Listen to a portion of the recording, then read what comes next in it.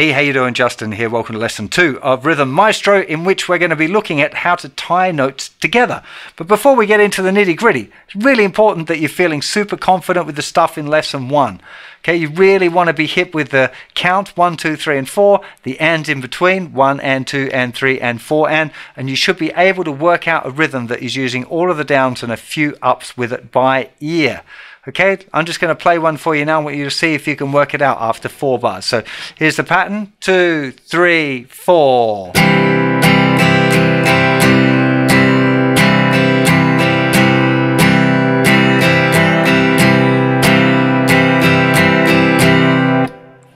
How'd you go? Easy? Or like, oh, not sure about this? Maybe skip the video back again if you need a second listen.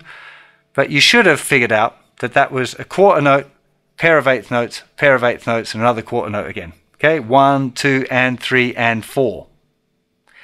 Assuming you were cool with that, now we'll get stuck into what ties are. So musical ties, as opposed to neckties, tie notes together. So if you have two notes that are tied together with this little curved line between the note heads, the first note is held for the duration of itself and the note that it's tied to. Now, if we have a look up there, you're going to see two bars of notation, and they actually sound exactly the same. Sounds like this. One, two, three, four. One, two, three, four. But obviously, now, if you're looking at here, you're going to be looking at the tie bar going, that looks a lot more complicated than the first bar does. And usually we use ties to make things clearer and easier to see. In this particular example, I'm just using it so you can very clearly see the effect of the tie. Now, if you look in the first bar, you'll see that it has a half note. If you remember, a half note is worth two beats. And in the second bar, the start of the second bar, we've got two quarter notes that are tied together. So those two quarter notes, the first one and the second one are tied together. It would be one note held for the duration of that time. So it sounds exactly the same as the half note. So after that, I've got one quarter note and then I've put two eighth notes tied together. Now the two eighth notes and the quarter note, this is in the second bar, sound exactly the same. So if you've got a quarter note or two eighth notes tied together, they would sound the same. They'd be absolutely no different. There wouldn't be a reason to write two eighth notes tied together as in that way instead of just a regular quarter note. But just so you can clearly get the idea that by tying two notes together, there might be another way of writing it. Which leads us to our next and probably the biggest question about ties that I get when writing them down is just kind of why would we need to do it, particularly when there are other ways of doing it. So let's have a look at this next example. The first two beats, you can see I've written an eighth note, a quarter note, and an eighth note. So that rhythm would be one and two and. And then the, I've just kept three, four on the end. So one and two and three, four. One and two and three, four. Because we've got half a beat followed by a whole beat by a half a beat. Okay? One and and three, four would be that bar. And that's actually, it's not too bad to read it that way. But instead of putting the quarter note in the middle there, if we write it as two pairs of eighth notes and then join the middle two up, it makes it super clear that we've kind of held between those two beats. And then we have one and two and three, four. One and two and three, four. The tie just very clearly shows that it's tying over. Now, Personally, if I was reading either of those, I'd be kind of cool with that because I can still see where beat one is clearly, I can still see where beat three is. But there are times, and particularly one very common strumming pattern, where that's not really the case, and that is this one. Now, what's happening here, we've got beat one as a down strum, then we've got beat two, then we've got the and after two, we're missing beat three, we got the and after three and then beat four. Now this strumming pattern is one of the most common strumming patterns of all time. I call it Old Faithful. It's this, one, two, and three, and four. One, two, and three, and four. We're not playing on beat three. Now, what happens when we're reading music is we like to see the beat. Now, this is still relatively simple as far as rhythmic notation goes, right? We're saying pretty simple. But as soon as we remove beat three, like in the first bar there, it kind of throws off our eyes a little bit because we can't really see where the, the beat is. We're used to seeing, particularly quarter notes, we're used to seeing them on the beat. So when they're not on the beat, it's a bit like, oh, what's what's happened there? Whereas if you write it as the eighth notes and then tie the middle two together over beat three, it's very, very obvious to the eye that you're going one, two, and and four, and that you've got that little tie there over beat three. It's visually easy to see especially when you get more complicated rhythms, it becomes more important, but it's worth learning at this early stage all about ties. I'm going to give you one more example now where we've got an eighth note, quarter note, quarter note, quarter note, eighth note. So it's still four beats in the bar, but now the quarter notes are all on the off beats because we've started with a half a beat. So we'd end up, this pattern will be one and two and three and four and one and two and three and four and one and two and three and four and. Now, that is a really badly written piece of music. If somebody, if I was teaching at a school and somebody handed in some music that was written like that, I'd be like, "Nah, man, that's that's not how you do it." Seeing all that line of quarter notes there, you just assume that they're on the beat, especially if you're reading things very quickly, like in a chart reading situation. That would just be really, really bad writing. So, what I would recommend that you do is get used to this idea of always trying to write so you can see the beat, particularly beats one and three, but preferably all of the beats. So, you should have a note on beat one, two, three, and four. If, it, if it's not being played, then you want to use a tie to get rid of it. Okay, now this, like I said, we're still staying in pretty simple territory for this lesson, but the sooner you get to grips with this, the sooner we can start working out real world patterns and writing them down, and this will become more and more important the more complicated we get. So let's now have a look at some really common one bar strumming patterns that use ties. Now, particularly this first one, I call it Old Faithful. It is the most common strumming pattern that there is. And if you only knew one strumming pattern, it should be this. It's definitely one that you want to learn how to hear and you want to learn to write down. Comes in lots of minor variations, but in its basic form, it's just one, two, and three, and four. Down, down, up, up, down. One, two, and three, and can see there we've got the tie going over from the and after two on to beat three. So beat three is not played. Okay, now this one works like nice and slow. But it also works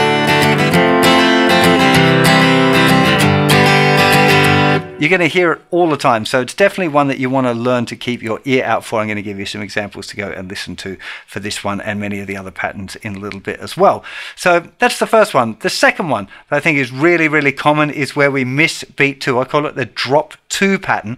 So it's more or less the same thing, but we move that little uh, rhythmic grouping that was in the middle to the front. So we end up having one and two and three,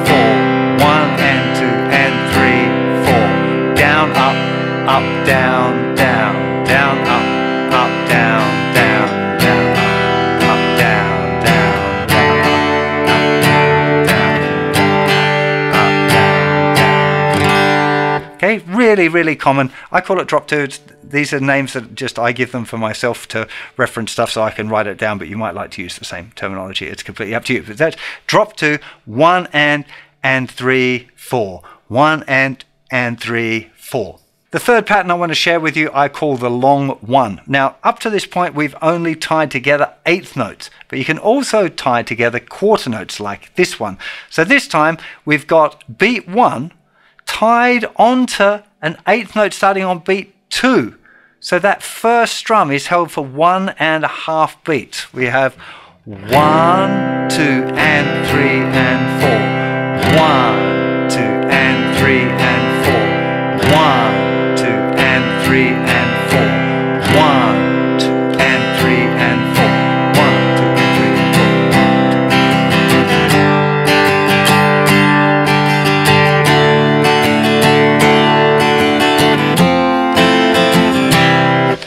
Again, really, really common pattern, that one. The last one I got for you, I call it Proud Coffee because it's the one from Proud Mary and also Coffee and TV by Blur. Very, very kind of similar pattern. Uh, it's this. One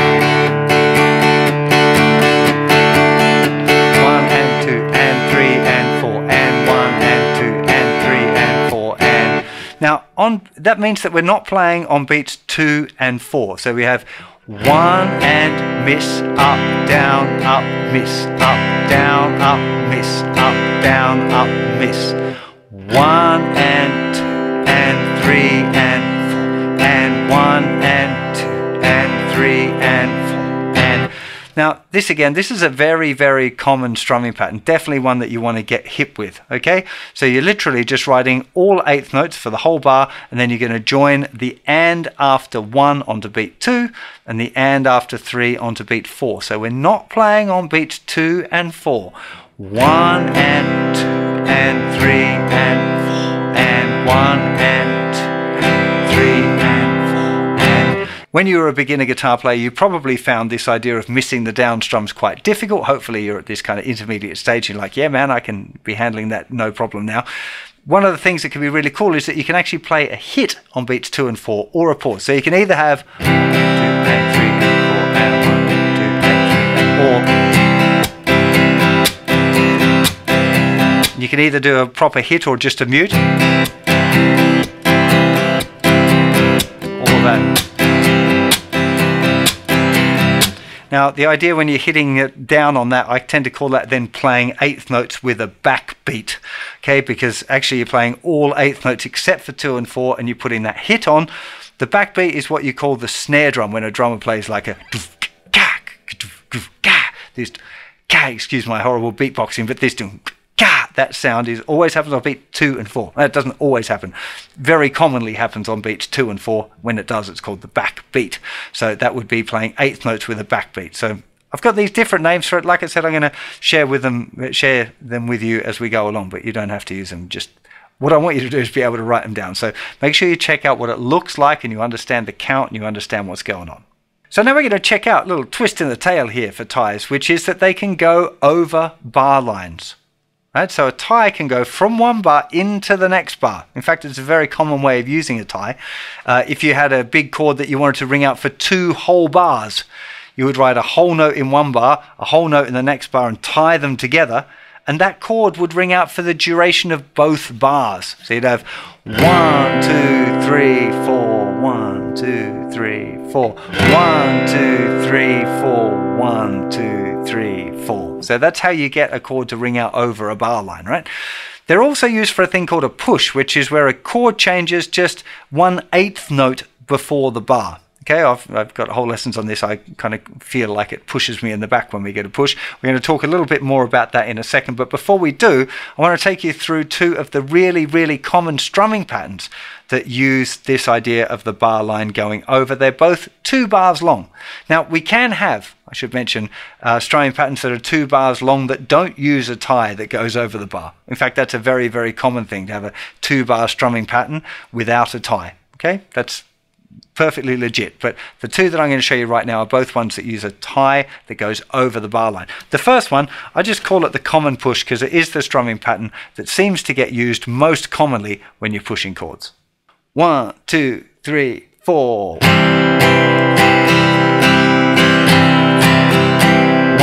two, three, and four, and, two, three, and four. Slow down. One, two, three, and four, and one, and two three, and four. One, two, three, and four, and one, and two, three, and four.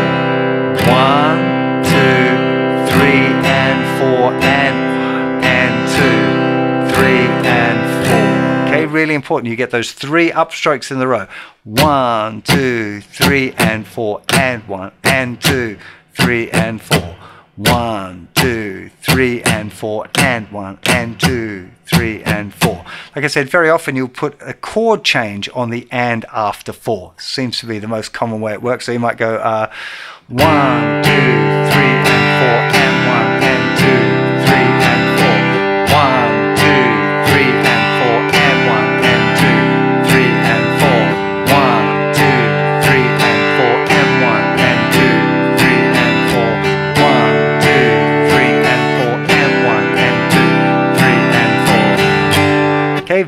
very, very common little technique, this idea of the push. When you're transcribing rhythms, though, you don't want to be thinking so much about the chords. You want to start with the rhythms first of all, and you've got to try and exclude that. We're going to talk a little bit more about that in a second as well. So, the second really common two bar example I want to give you, I call it the slow bow. Uh, it's a little bit like the Bo Diddley rhythm, which is this famous like. We're going to be looking at that in this course, but in the next grade, because at 16th notes a little bit trickier. But what's going on there is these kind of, we call it groups of three against four. So what I mean by that is each note would be held by three eighth notes. Okay, so we'd end up, say, having the, this pattern that I'd recommend that you check out is this one and two and and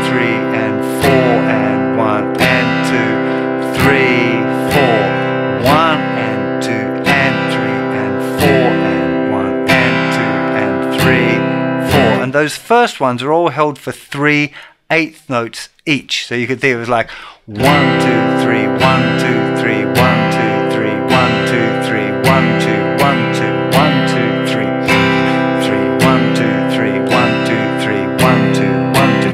That I wouldn't recommend that you count like that. I just want to demonstrate that it's these groups of three.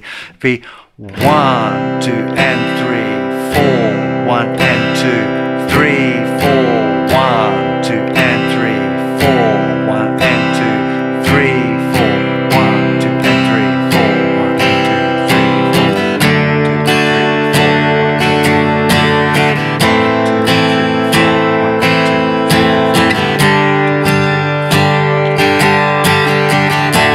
so that's another really, really common pattern. And again, by studying the basic patterns, learning how to write them down, if you're listening to a tune, you go like, oh, that sounds pretty much like that pattern. You've got a really solid starting point.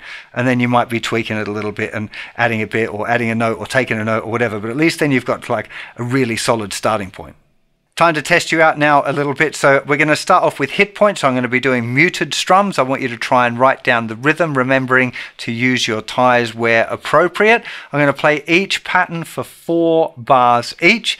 Just a little mention as well, a few people said, oh, it's a bit easier because I can see your hand moving as you're playing. I mean, to be honest, if you're listening to a track, you should imagine that the person's hand is moving consistently over it anyway. So I don't think that's probably going to help. If it if you find it is helping you and making it easier for you to be able to do that, then look away or close your eyes while I'm doing the thing. Another thing that's going to be a little different to try out today is that I'm not going to be giving you the tests with the metronome. So often when you listen to acoustic music, there's no metronome there to help you, so you have to keep feeling where the beat is. I'm going to give you a count in. So try and count in. I'll do my best to keep myself in time as well. So let's see if we can work it out. Here's the very first one. So one, two, three, four.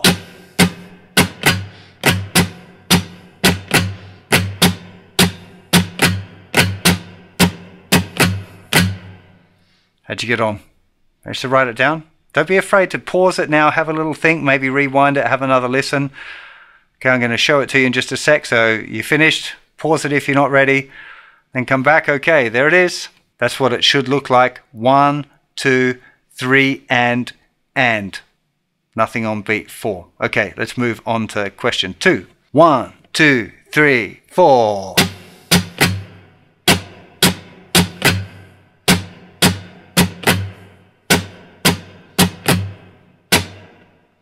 Okay, again, have a little pause, write it down, think about it. Can you imagine it? Dun, dun, dun, dun, dun, dun.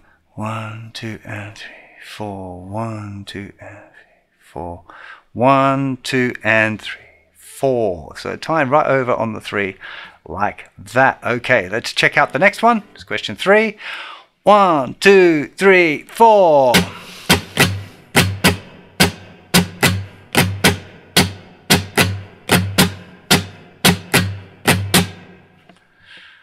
How'd you go? That's one that you want to learn to write down real quick to go, oh, it's just that. You done it? You know what it is? Old Faithful. Got to learn to recognize that one right away.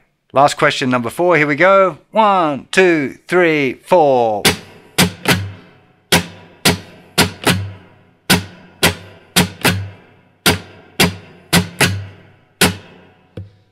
How was that one? Recognize it? Sound familiar? Not really? There we go. That's the first set. So that was just hit points. And remember, what you're trying to train yourself to do is when you're listening to an actual recording, you're trying to remove all of the harmonic information, just listen to the rhythm, rhythmic information, and end up what you're trying to write down is the hit points. That can be a real helpful thing. So, real world styly stuff now. I'm going to be changing chords as well. So, I'll give you the count in, then I'm going to play the same strumming pattern for eight bars. Here we go. One, two, three, four.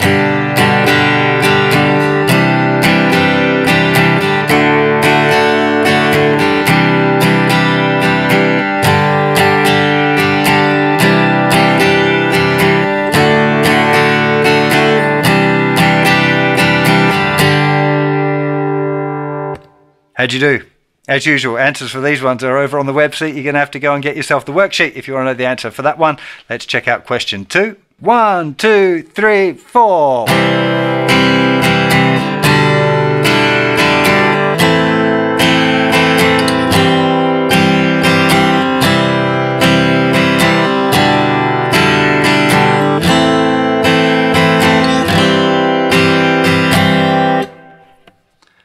It's a fun one, eh? Okay, question three. Here we go. A one, two, a one, two, three, four.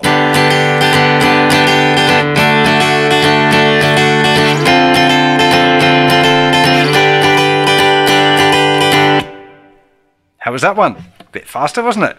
Probably not going to be able to slow it down if it's on a video as well, but really, really good practice. Hopefully, you're kind of recognizing that one because it might be something you heard before. Okay, let me just check what is number four. Okay, here we go, the last one for this. One, two, three, four.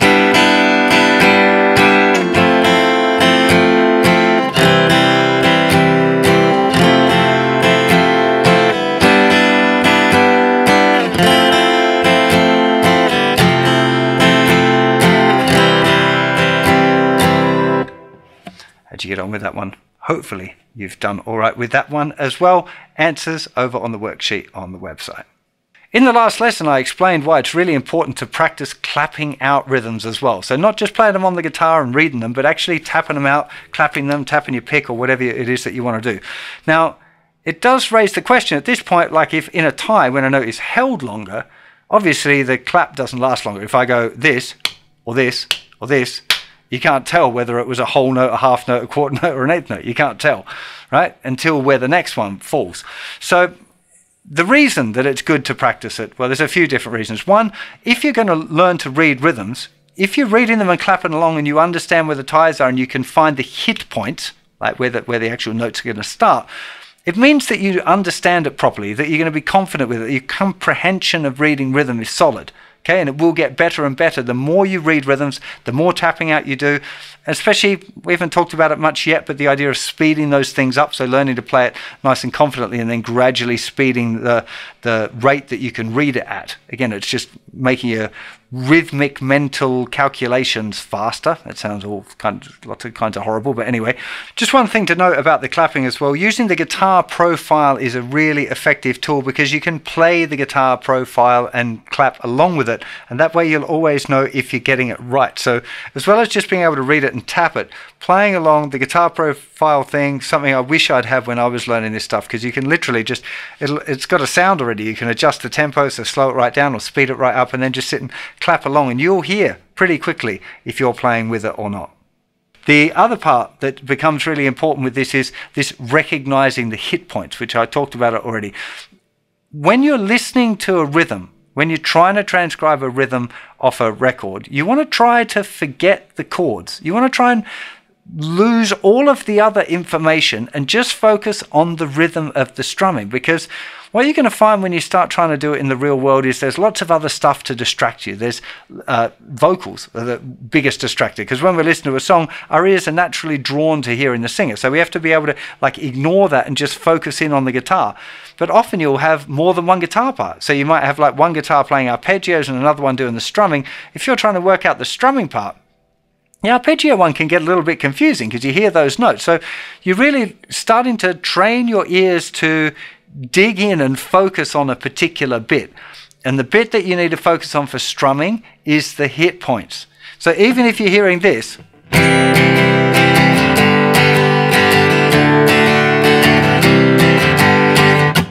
I just want you to hear that.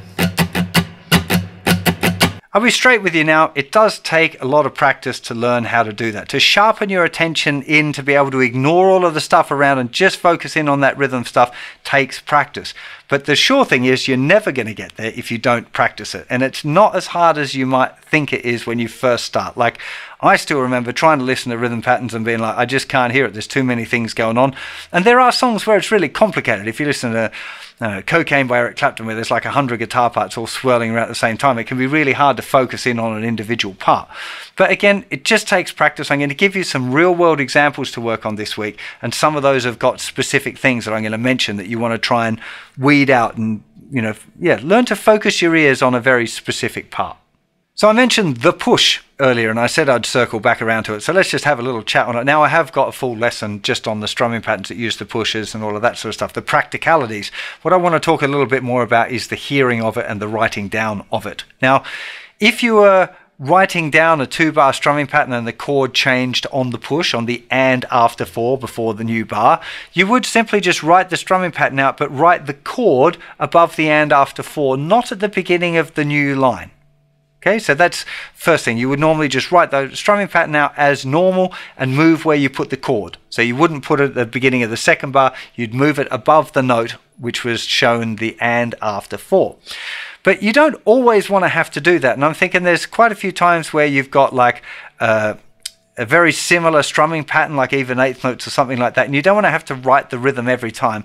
And when you do that, there's a real nice shorthand way of writing a push, which is just to write an eighth note with the tail.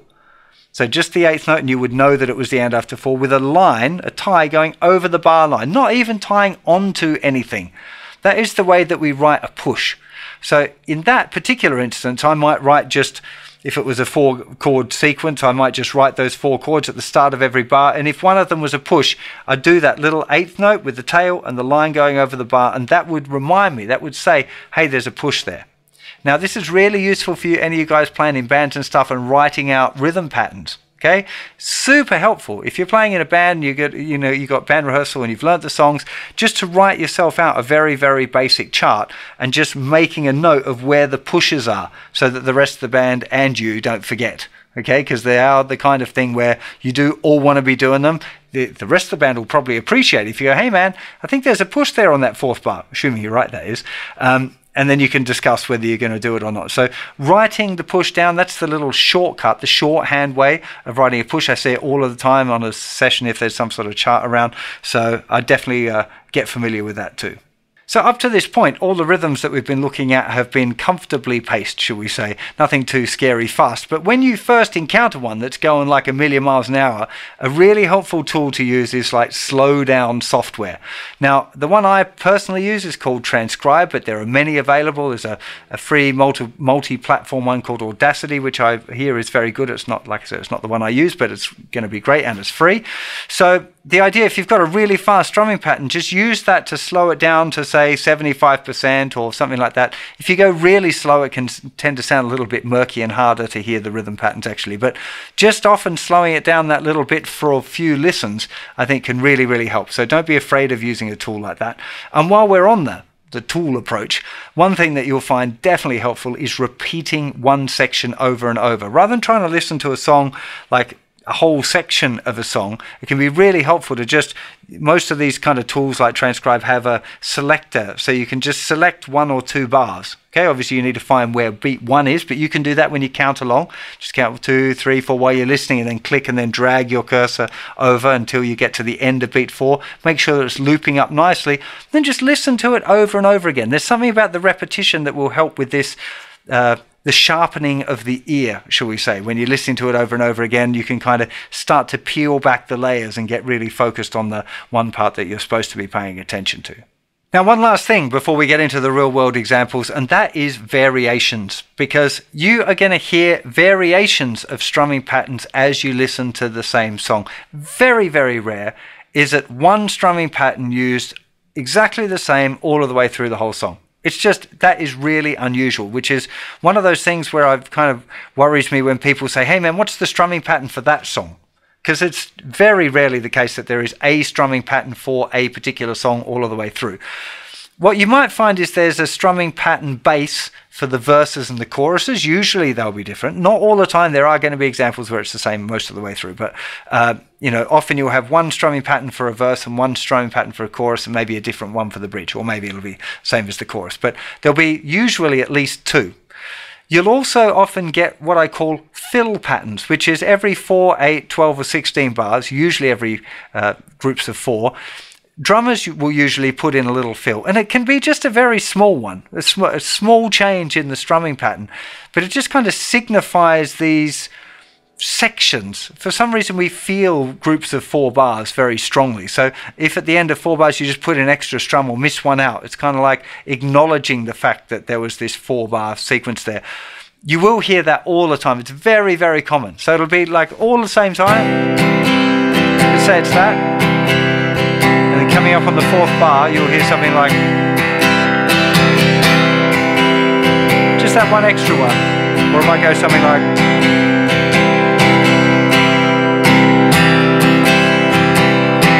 Okay, there's just going to be these, you know, same strumming pattern all the time, and then there'll be a variation. That's another benefit for looping one section is that you're not going to get put off by the fact that there might be a variation there. There's one other very common way that strumming patterns change, and that's when the amount of chords in the bar changes. Now, particularly if you're doing something like that had an old faithful pattern. So if you're going one, two, and three, and four, one, two, and three, and four. Now, if you had suddenly something going one, two, so you had to play on beat three. You're obviously not going to be able to keep that pattern going because you're not playing on beat three. So you had this three,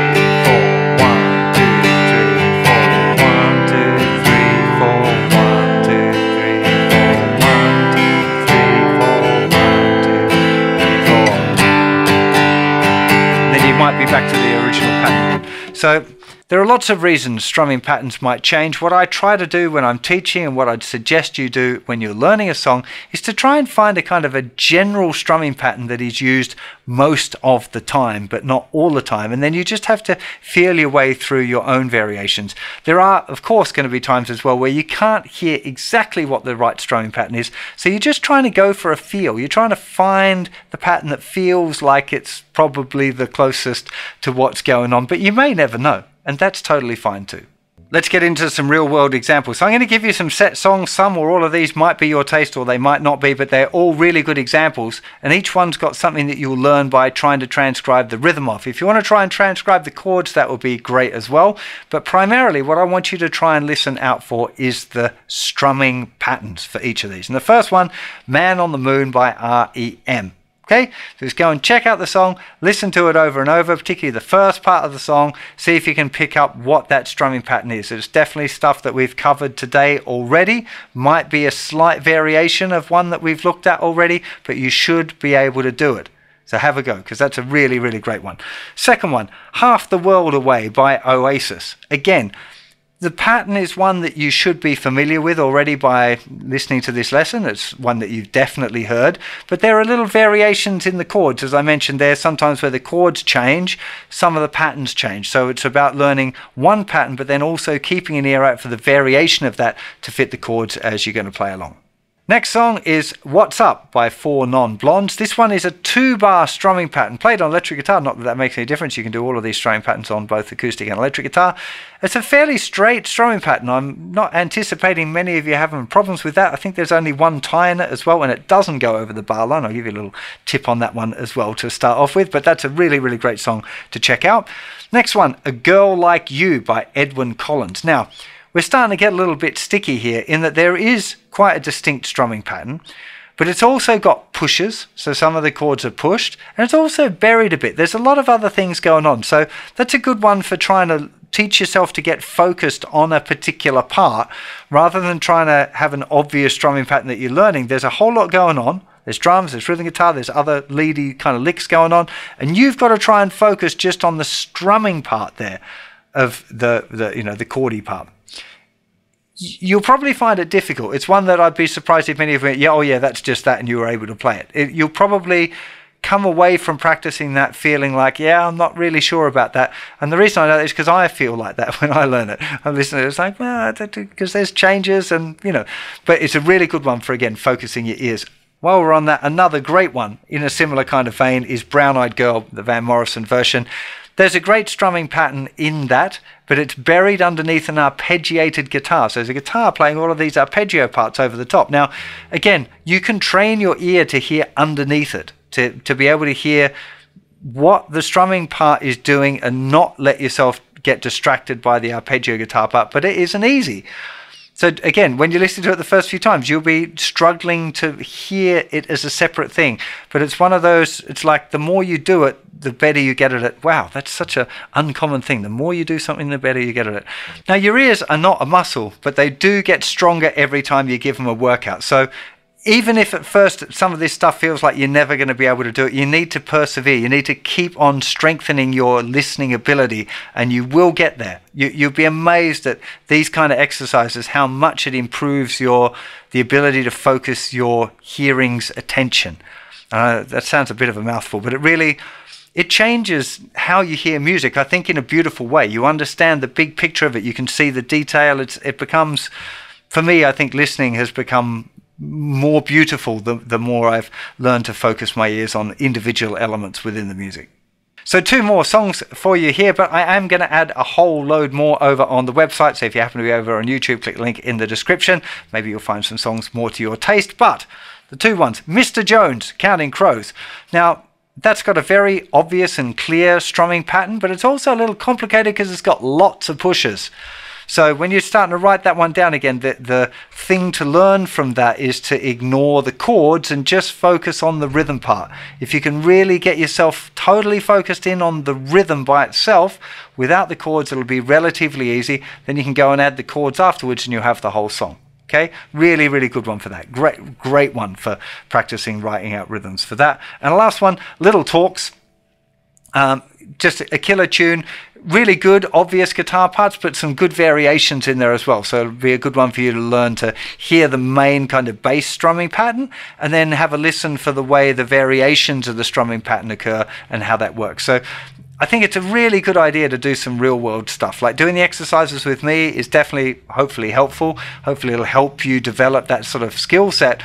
But doing it on your own and with an original recording, I think, can be so, so helpful because it is actually the point of the whole thing. And as we get more and more complicated and learn more and more things, become more and more useful. So, look, I really hope you enjoyed this. Don't forget, of course, that there's a worksheet over on the website that you can go and pick up. Probably going to be helpful. There'll be some extra sheets as well for the tapping along. The Guitar Pro files, again, super helpful because you can actually play them and play along and make sure that you're tapping right because the Guitar Pro software will be clapping along with you to make sure that you're getting it right. So loads of good things there waiting for you over on the website. So go and check that out. If you are over on YouTube, always appreciate you hitting the subscribe button, slapping me a like, and let me know in the comments how you're getting on, or if there are any songs that have got really good, solid rhythms that you'd like me to recommend, or maybe help me and put it over on the website. Really appreciate your help and support. Of course, I'll see you for plenty more lessons very soon. You'll take care of yourselves. Bye bye.